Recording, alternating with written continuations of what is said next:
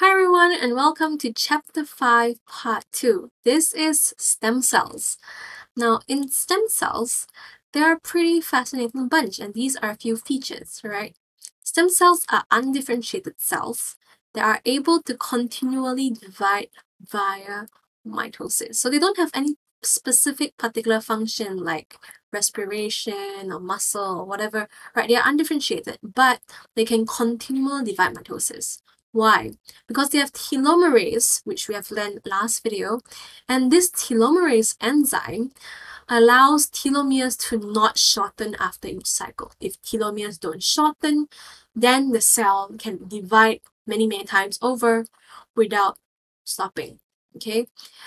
And when it does divide, it's interesting because it can produce one of itself, so self renewal, and it can produce a cell that can differentiate or specialize into another function.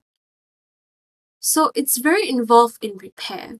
In stem cells, many genes are not switched off. So it's very versatile and it can differentiate into maybe multiple types of cells as well. Okay, so what do they do? All right, what what is what are they for? Those are just the features, right?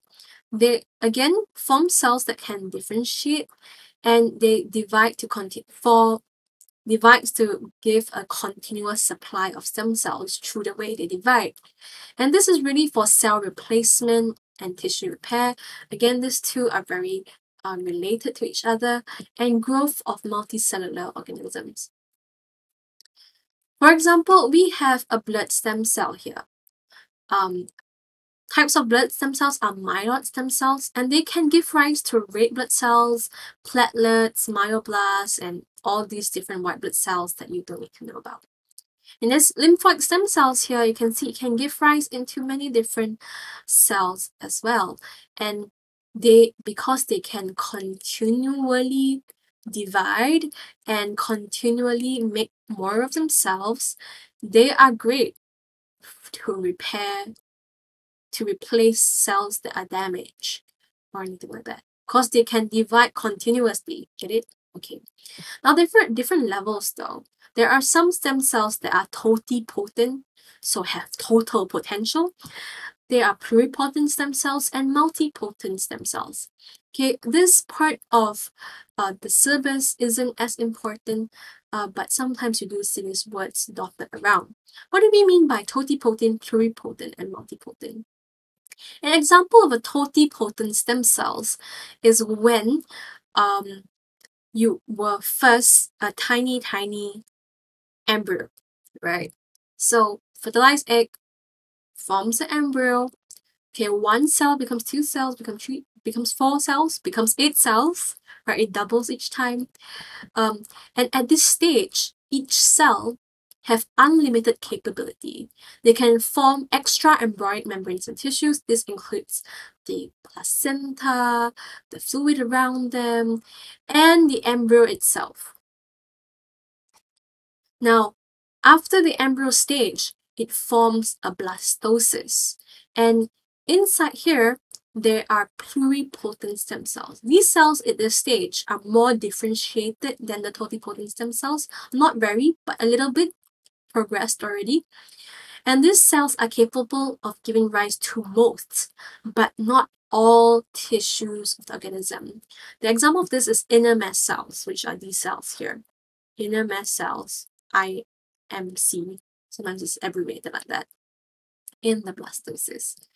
Now, how about multipotent stem cells?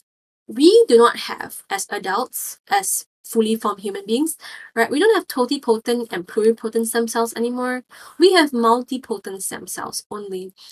These cells in us right now are committed to give rise to cells that have specific function. For example, we have seen blood stem cells. Blood stem cells are also called, called hemopoietic stem cells, and it can give um, give rise to a range of different cells as we have seen just now, right? red blood cells, white blood cells, different kind of white blood cells. However, Uh, a blood stem cell or hemopoietic, hematopoietic stem cells, it cannot simply differentiate into a nervous cell or nerve cell. No, we cannot. It's tissue specific. But this is what we have right now. We don't have all of those anymore. Can you imagine if we are able to utilize stem cells and somehow get hold of the pluripotent or totipotent stem cells and make them into cells we want, maybe even build an entire new organ? And and you know use it to heal people's wounds faster and and something like that right? That would be amazing. That would be like something from a sci-fi movie correct?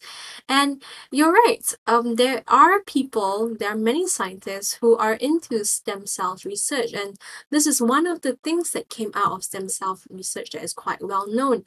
Um scientists have tried to isolate these inner mass cells they are pluripotent stem cells, isolate them, culture them, and make them into specific types of tissue cells.